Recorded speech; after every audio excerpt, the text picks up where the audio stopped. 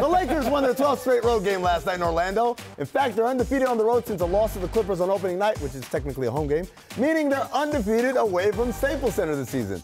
Brian, what's the reason behind the success on the road? It sure helps to have Anthony Davis and LeBron James. oh, there you, there you Um, get a pen here. you know- Davis and LeBron. Got you. They, because they're pretty darn good at home too, but uh, they they play defense. One of the old adages in the NBA, Scottie, defense travels. So when mm-hmm. you when you play good, strong defense and you can take it on the road, you have a great opportunity to be successful away from home. And you know they've they've really played with great intensity in some of their big road games. Like if you watch the intensity they played with in Denver and in Salt Lake City last week, they wanted those games. Right. Because those were those were the tough games. Yeah. They've been killed for their schedule a little bit as well. Yeah.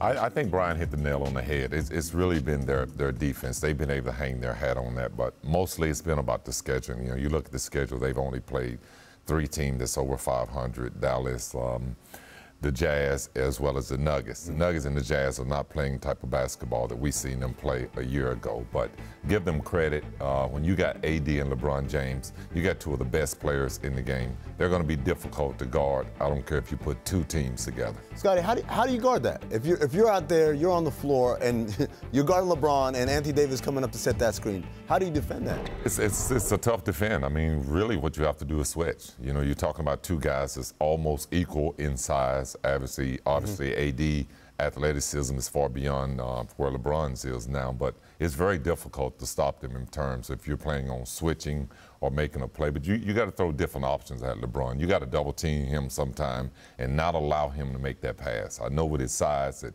he's able to see the floor very well, but you got to force someone else to make the pass, AD, and not LeBron the, James. the, the representative from the Western Conference this year may come down to who can handle the who can handle the LeBron AD pick and pick and roll, roll, who can handle the Paul George Kawhi Leonard pick and roll. Can they solve it?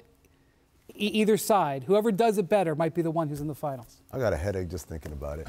Uh, here's the crowd reaction to Dwight Howard checking into the game last night. Take a listen. Still here's the boos here in Orlando. His last year here was 11-12. Now, before the game, Dwight told reporters, quote, I think it takes everybody a while to get over things, but time should heal all wounds, and if not, got to let that bleep go. Scottie, do you think it's time for Magic fans to get past their beef with Dwight Howard? No, they still pissed. They won a championship, and he didn't bring them one. Oh, so uh, that's the way I got that note, the Kawhi. Leonard note. yeah, he's trying to piggyback on the Lakers to get a championship. Orlando fans ain't buying that. but it's over, right? Like it's No, it's not over because you don't want. It's the same reason that the Pacers fans were all over Paul George mm-hmm. last week. I'm battered. They see their ex doing well, well. In LA. They don't want that. Like it or not, they don't want that. It, it was a little easier to see him in Oklahoma City than it was to see him in LA. It's just, Right. just the truth of it.